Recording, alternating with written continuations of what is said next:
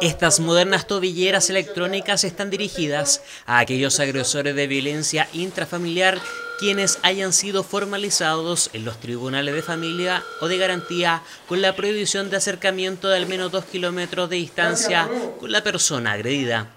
Lo que esto significa principalmente es que las mujeres que cuando denuncien y se formalice al agresor y se decreta la prohibición de acercamiento, también el tribunal pueda eh, decretar el uso de la tobillera electrónica del control monitoreo telemático 24-7 del agresor. Con esta tobillera electrónica, con todas las ventajas tecnológicas que tiene y que se acaban de exponer, esa persona, por el solo hecho de ser formalizada, no condenada, con prohibición de acercamiento a la víctima, va a tener que portar esta tobillera que le impide acercarse a dos kilómetros de la víctima. Y si lo hace, se genera una señal, como pudimos ver ahora, a una central de monitoreo que le avisa a la mujer, si es que ella quiere estar informada, y le avisa a carabineros para que lo detenga inmediatamente. Una iniciativa que tardó más de siete años para su aprobación y que entró en vigencia a contar de este martes.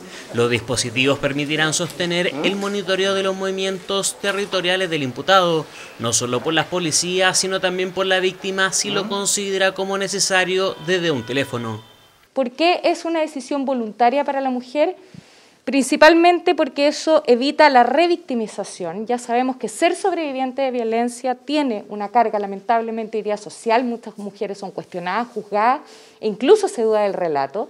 Y eso es lo que queremos cambiar, ese es el cambio cultural que tenemos cierto que asentar y también porque estamos promoviendo siempre la autonomía en la toma de decisiones. Quedará a criterio de los tribunales sostener o aumentar la pena en caso que el infractor quebrante la medida cautelar establecida.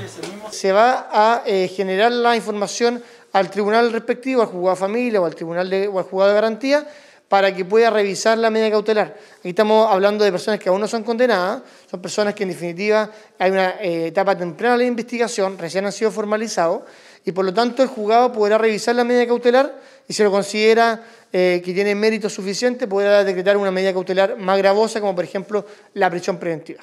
Ahora con la entrada en vigencia de estas tobilleras, el mensaje reiterado es a denunciar todo tipo de hechos de violencia intrafamiliar, ya que del total de lo registrado del año anterior, solo el 19% de los casos presentaban en los tribunales de justicia una orden de alejamiento.